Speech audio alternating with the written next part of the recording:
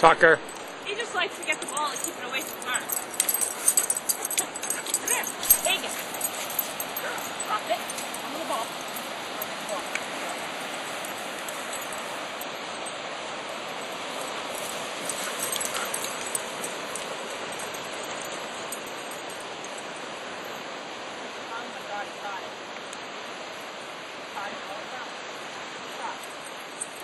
Good boy, Tucker. Come on.